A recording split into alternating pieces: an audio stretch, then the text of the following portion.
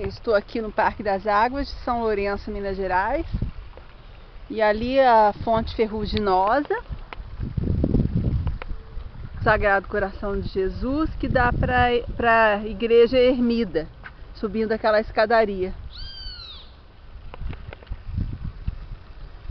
Que Jesus seja louvado e todo mal acorrentado.